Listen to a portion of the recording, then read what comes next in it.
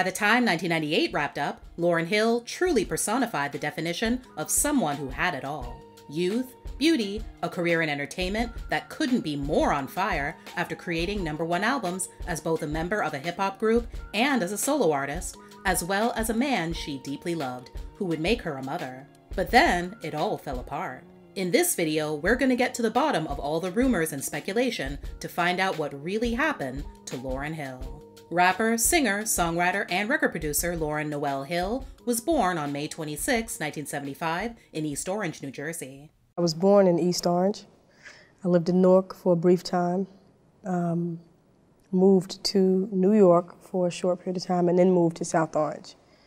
And uh, South Orange was it was interesting because it was this um, very diverse. She was raised by her mother, a high school English teacher, and father, a computer programmer and consultant, along with an older brother. Music was always front and center in the Hill home. My parents had a love for music. They had a love for um, there was there was so many records, you know, so much music constantly being played. My mother played piano, my father uh, sang, and and it was just music always surrounded in music. I remember one, one of my earliest memories was in a house in East Orange that we lived in where, you know, either Sundays or Saturdays, maybe Saturdays, we would clean the house and my mother would play, you know, uh, Stevie Wonder's uh, songs in the key of life, the whole album. I just remember hearing "Isn't She Lovely" and you know, and pretending to iron. You know, so from a very young age, there was a lot of music. Little did she know, Lauryn would come face to face with the harsh judgments of the professional music industry also at a very young age.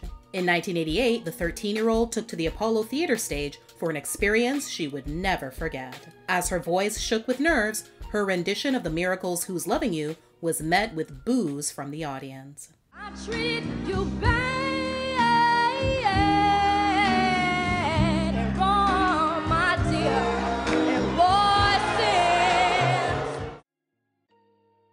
While the reception didn't stop her from completing the performance, after she was done, she did cry backstage. Lauryn then went on to attend Columbia High School. Friends and former teachers recall her as an overachiever who could effortlessly juggle advanced placement biology, violin lessons, and dance class.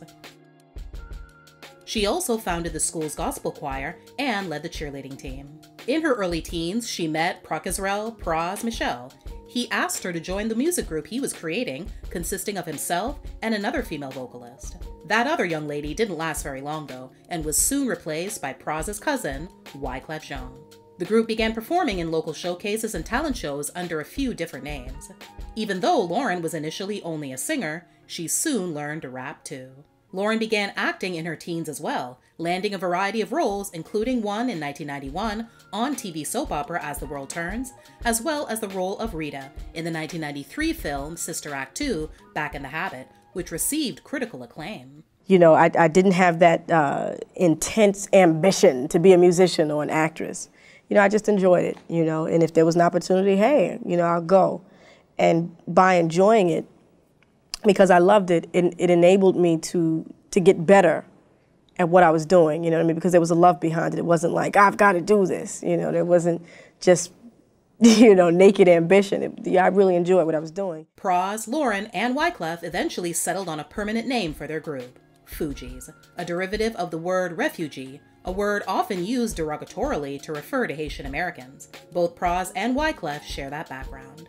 The Fugees signed a contract with Ruffhouse Records in a joint venture with Columbia in 1993. The same year, Lauryn, who would go on to be frequently referred to by the nickname L Boogie, graduated high school. Their debut album, Blunted on Reality, dropped the following year. While three singles were released, the album only reached number 62 on the Billboard Top R&B Hip Hop Albums chart and sold very poorly. They got far better results with their second effort, The Score, released two years later. It peaked at number one on the Billboard 200 and stayed in the top 10 of that chart for over six months. It sold 7 million copies in the US and more than 20 million worldwide. Singles from the project include Fu-Gee-La, Ready or Not, the Bob Marley cover No Woman No Cry, and their breakout hit, another cover of the Lori Lieberman song Killing Me Softly. The score won the Grammy Award for Best Rap Album, and Killing Me Softly won for Best R&B Performance by a duo or group with vocals. Surprisingly, during this period, 21 year old Lauryn was still living at home with her parents. She'd been enrolled at Columbia University, but ultimately left after about a year of total studies, once sales of the score skyrocketed. She also had to deal with a terrible rumor that could have, in today's time, canceled her. In 1996, she went on The Howard Stern Show to respond to a report that she'd said she didn't want white people buying her music. So I was raving about your record and everything, you know? Uh-huh. And then um, this guy calls up and he goes, Hey, Howard, man, I'm a disc jockey. And I'm telling you, I saw Lauryn on MTV. Okay. And she was screaming about how she would hope, this was the quote he said, that no white people would ever buy her record. I think the quote was, she would rather starve? Yeah, starve. She would rather have her family, her children starve than than uh, have white people buy her record. Now, so then I got all bummed out, and I was like, "Oh man, Come why does it have to get racial? What's that Come all?" On, isn't that sound retarded? I mean, it does. Did you say that? We had a lot no. of people calling saying No, that. I totally. I mean, I think that it was probably taken out of context. What I was saying is that I make my music for young black youth because I'm a young black youth myself, and there's you a message in my songs. Yes and that's for people who look and come from the same areas that I do. That doesn't mean that my music isn't universal. Then, right in the midst of all their phenomenal success, the Fugees split up to work on solo projects. Well, that was the reported reason. According to Wyclef, though, as detailed in his 2012 autobiography titled Purpose, the real reason was his tumultuous affair with Lauryn.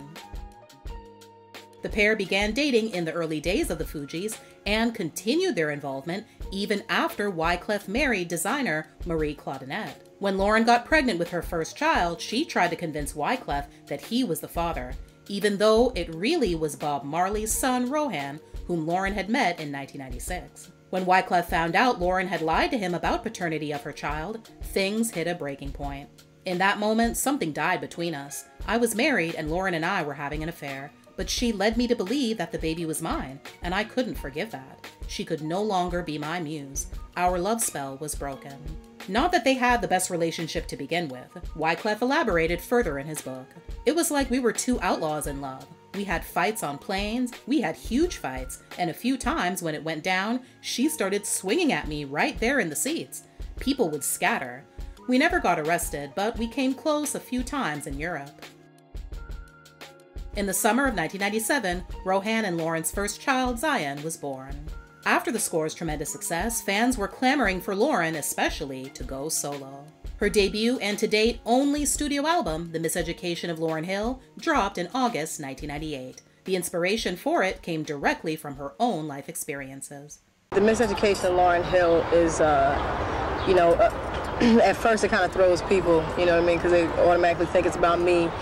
Um, being miseducated, but miseducation is actually it's like a, a metaphor for actually being re-educated, um, unlearning some bad things. You know what I mean? Some things that I may have um, perceived to be the truth. You know what I mean? That actually weren't. Um, it really has a lot to do with personal evolution and personal growth and really understanding that there are things that society teach us which are like general pieces of information, you know, just for the general public.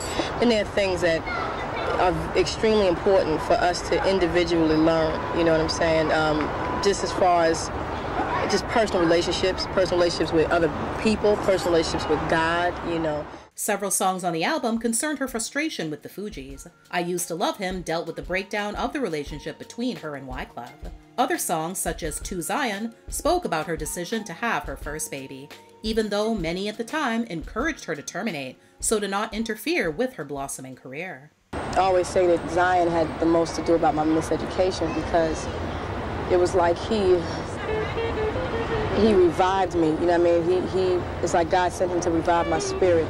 It was not only it was like the most humbling thing, but I had never been in love like that before. You know what I'm saying? It gave me this just this renewed spirit about about life and love and, and everything.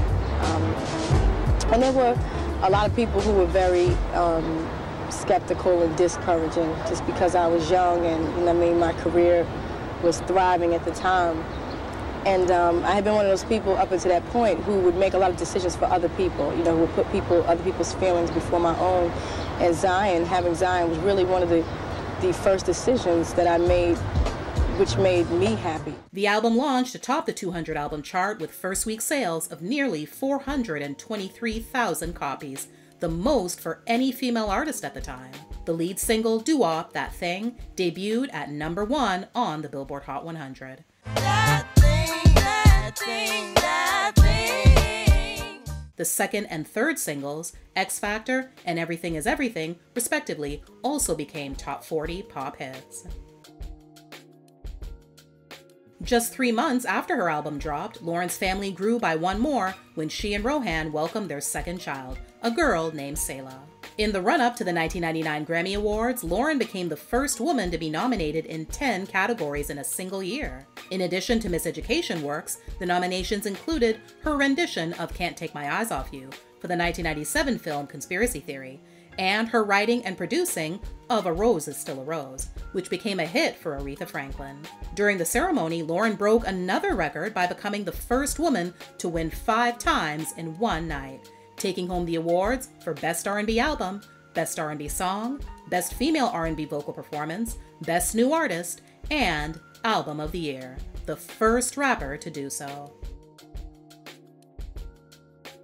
She also made People magazine's 50 Most Beautiful People list, was the first rapper to grace the cover of Time magazine, and at just 23 years old, became the youngest woman ever to be included in Ebony magazine's prestigious list of 100 plus most influential black Americans. Lauryn had made it as a solo artist in the biggest way possible. That fact, however, wouldn't protect her from everything. In late 1998, a 50 page lawsuit was filed by four musicians collectively known as New Ark Entertainment against Lauryn, her management, and record label, claiming that she used their songs and production skills but failed to properly credit them for the work on her debut album. She claimed New Ark was trying to take advantage of her popularity. Then, in June of the next year, she received an Essence Award, but her acceptance speech, where she said there was no contradiction in religious love and servitude, drew a negative reaction from those in the public, who thought she wasn't a good role model as a young, unwed mother of two. Things were on the upswing again in 2000 when Lauryn was one of the producers to share the Grammy Award for Album of the Year, awarded for Santana's 1999 multi million selling Supernatural, since she'd written, produced, and rapped on the track Do You Like the Way? She was also nominated for Best R&B Song for All That I Can Say, which she'd written and produced for Mary J. Blige for her 1999 album, Mary. Her own duet with Bob Marley on Turn Your Lights Down Low for the 1999 remix tribute album Chant Down Babylon additionally appeared in the film The Best Man that same year and later received a Grammy nomination for Best Pop Collaboration with Vocals. In early 2001, the New Ark suit was settled out of court, with Lauryn paying them a reported $5 million. Her life drastically changed after this event. She began to trust people less and also sought a closer connection with her spirituality. Many of her friends and collaborators point to one specific relationship which had been especially destructive since her 90s heyday, a relationship which came into being just as Lauryn was at her most vulnerable, feeling the pressures of both public life and the demands of supporting a family as a working mother. That person was a man who called himself Brother Anthony, a figure who many have described as a cult leader. He was believed to have convinced Lauryn to sever ties with her management, colleagues, and friends, damaging her career in the years following their initial meeting. She later described this period of her life at length in a 2009 interview to Essence, saying, People need to understand that the Lauryn Hill they were exposed to in the beginning was all that was allowed in that arena at that time. I had to step away when I realized that for the sake of the machine, I was being way too compromised. I felt uncomfortable about having to smile in everyone's face when I really didn't like them or even know them well enough to like them. She also spoke about her emotional crisis, saying, For two or three years, I was away from all social interaction. It was a very introspective time because I had to confront my fears and master every demonic thought about inferiority, about insecurity, or the fear of being black, young, and gifted in this Western culture. In July 2001, while pregnant with her third child, Lauryn unveiled her new material to a small crowd for a taping of an MTV Unplugged special. A live album of the concert, titled MTV Unplugged Number 2.0, was released the following year. The project didn't receive anywhere near the praise that Miseducation did. Even with the mixed reviews and no significant radio airplay, the album still managed to debut at number 3 on the 200 chart and later achieved platinum status. Another plus? Her song, Mystery of Iniquity, from the album was nominated for a Grammy Award for Best Female Rap Solo Performance. Around 2001, Rohan and Lauryn's third child, Joshua, was born. He was followed a year later by their fourth, John. While Lauryn sometimes had spoken of Rohan as her husband, they never married. Maybe that had something to do with him already being married? You see, along the way, Lauryn was informed that Rohan had been previously married at a young age. According to a 2003 Rolling Stone report, he'd never secured a divorce. He later disputed this and produced a 1996 divorce document to a blog. Lauryn later revealed that she and Rohan have had long periods of separation over the years. Also around this time, Lauryn was supposedly working on her sophomore album. Columbia reportedly coughed up $2.5 million to fund it, building a studio in her Miami apartment and purchasing flights and rooms for various artists to help with the album. However, the label allegedly pulled the plug financially, as the artists that flew out spent most of their time in their hotels due to getting calls from Lauryn's team that they would, quote, start tomorrow. The artists were eventually sent home, and no album came out. Then she ticked off an entire religion. Lauryn used a 2003 concert in Vatican City as an opportunity to read a letter criticizing the Catholic Church for its pedophilia scandal. In it, she said, I realize some of you may be offended by what I'm saying, but what do you say to the families who were betrayed by the people in whom they believed? Over the last two decades, Lauryn has released music only sporadically. After several years apart, the Fugees reunited in 2004 to perform at Dave Chappelle's block party in Brooklyn. The group then made a surprise appearance the next year at the BET Awards, where they opened the show with a 12 minute set. After that, they were off on a European tour. It seemed that they were really getting back into the groove of things, but old tensions between Lauryn and the other members of the group would soon resurface, and just as quickly as it started, the reunion ended. Wyclef and Pras both blame Lauryn as the reason. By 2007, Lauryn was doing solo shows that received mostly mixed reviews for several reasons, such as performing strange renditions of her songs, wearing weird attire, and probably what her fans lamented about the most her lateness. Lauryn had created quite a reputation for not just being late, but actually hours late. She addressed her tardiness issue in a 2016 Facebook post. I don't show up late to shows because I don't care, and I have nothing but love and respect for my fans. The challenge is aligning my energy with the time, taking something that isn't easily classified or contained and trying to make it available for others. I don't have an on off switch. I am at my best when I am open, rested, sensitive, and liberated to express myself as truthfully as possible. For every performance that I've arrived too late, there have been countless others where I've performed in excess of two hours, beyond what I'm contracted to do, pouring everything out on the stage. What's considered a rare find and unofficial type album titled Miss Hill, which featured cuts from Miseducation, various soundtrack contributions, and other unreleased songs, was released in 2007. The title was apparently the perfect choice since, in recent time, Lauryn had been adamant about being referred to as Miss Hill instead of her first name. She would confirm as much to Essence a couple of years later. I've always been wise beyond my years. I've always been a teacher. When I was a child, I was teaching adults because I was always learning. I'm Miss Hill because I know I'm a wise woman. That is the respect I deserve. In early 2008, Rohan and Lauryn's fifth child, Sarah, was born. The couple were not living together, as Lauryn was reportedly living with her mother and children in her hometown of South Orange, New Jersey. Sometime in 2010, many of the songs that Lauryn had performed and recorded over the past several years were included on an unofficial compilation album titled Khulami Phase. It also features a range of other material found on the Miss Hill compilation. In the summer of 2011, Lauryn gave birth to her sixth and to date last child, Micah. This one, though, was not with Rohan Marley. The father of this child remains publicly unknown. In June 2012, Lauryn was charged with three counts of tax fraud or failing to file taxes on $1.8 million of income earned between 2005 and 2007. During this time, she'd toured as a musical artist, earned royalties from both her records and from films that she'd appeared in, and had owned and been in charge of multiple corporations. In a long post to her Tumblr, she said that she had gone underground and had rejected pop culture's climate of hostility, false entitlement, manipulation, racial prejudice, sexism, and ageism. She added, When I was working consistently without being affected by the interferences mentioned above, I filed and paid my taxes. This only stopped when it was necessary to withdraw from society in order to guarantee the safety and well being of myself and my family.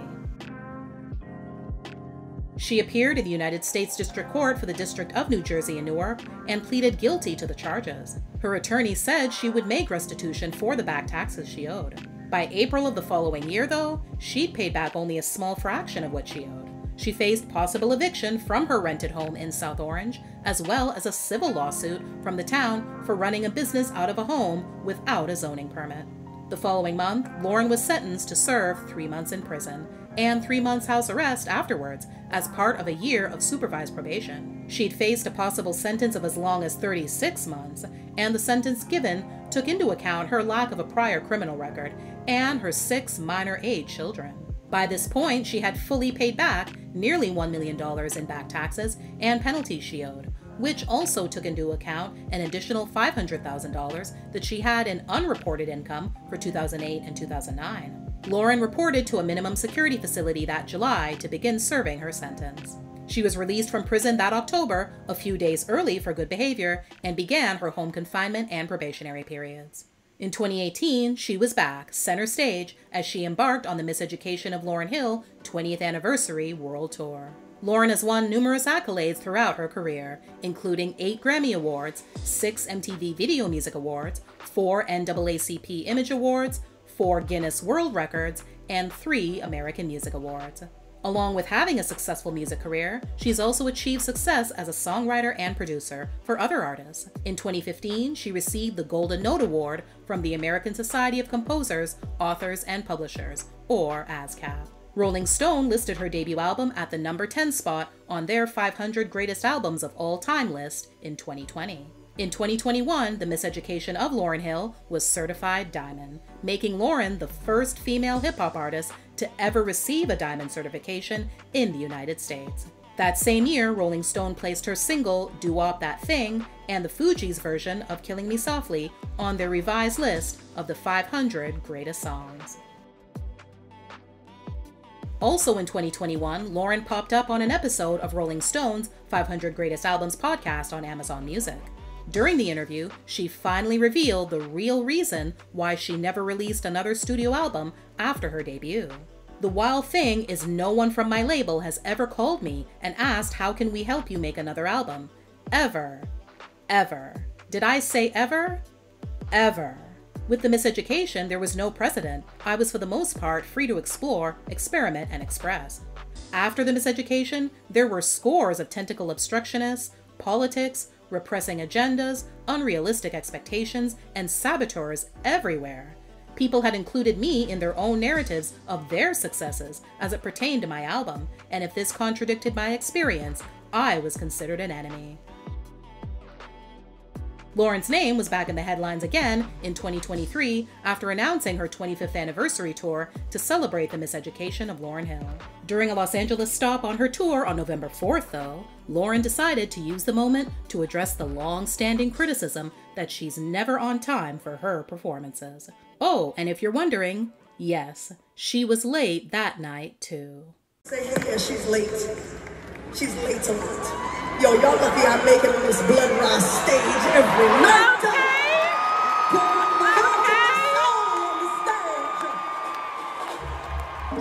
do it. I do it because they let me do it. I stand here in the name of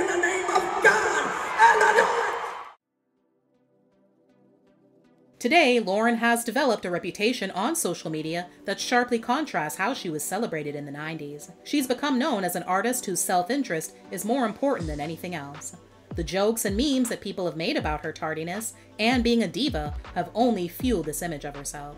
Some, however, still stand by Lauryn and have no problem waiting to see the artist at work, given how rarely she performs or releases music. In her 2016 Facebook post, she even stated that though she shows up late, there are fans who wait even longer to meet her after the show. Things have seemingly gone well on this current tour. Besides her lateness, she's been delivering a quality show, and even tapped Wyclef and Pras to join her to celebrate the legacy of the Fugees on select dates. Unfortunately, as of November 22, 2023, Lauryn was forced to halt the tour after suffering from the nightly use of a numbing steroid to aid her vocal cord injuries. She took to Instagram to reveal she was taking prednisone for her vocal strain. Although the medicine aims to help, it is more so a temporary fix that can have long lasting effects. So, in order to avoid further complications, she said she decided to postpone the remainder of the tour. Lauryn went on to ensure that the canceled dates would be rescheduled for early 2024.